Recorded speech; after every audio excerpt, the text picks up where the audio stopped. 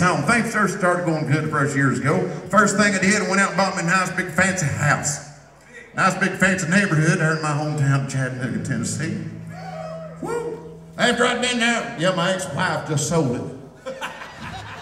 After I'd been there for a while, my neighbor come by, introduced himself one day, and he said, you know, we heard you were moving in the neighborhood. We had a community meeting. Not everybody gets excited when the hillbillies come to town, do they? Rather get upset with him, cause big ruckus, I chose to took the high road, do the Christian thing. So I turned the other cheek, walked back in the house, and I wrote him a song. So here's one from my former uppity neighbors at the Mountain Shadow subdivision, and I mean this from the bottom of my heart. Like they know Toby Keith, the name of his album after this a few years ago.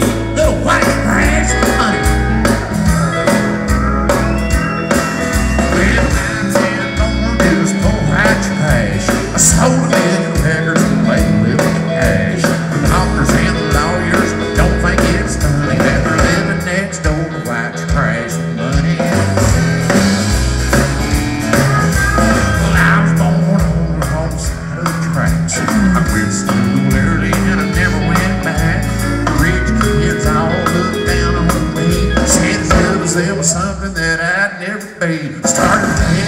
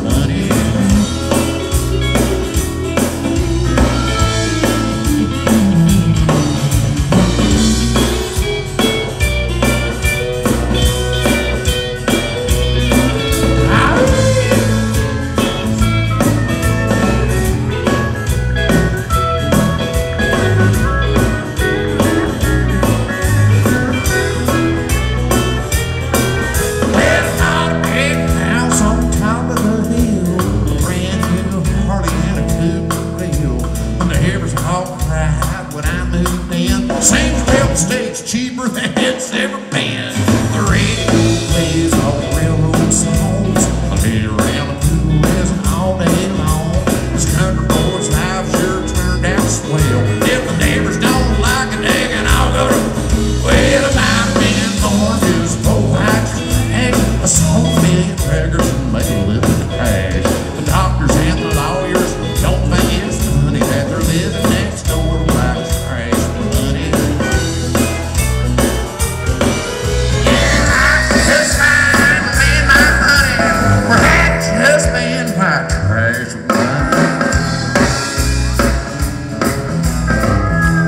Say shit.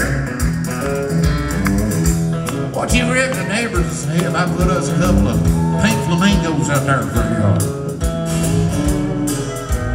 No. Them away or just white flowers in? Like y'all do that in Kentucky. When I first wrote that song about 20 years ago, that's the original ending I wrote for it, like a lot, of, a lot of other folks, my finances ain't what they used to be. So I figured I needed to update the end of this tune, so here's the 2014 version. So shit, who's that on telephone? Your divorce attorney. I gotta pay you how much? Well, I tell you what, folks, Mr. Obama don't send me a stimulus check, we just plain old poor white trash again.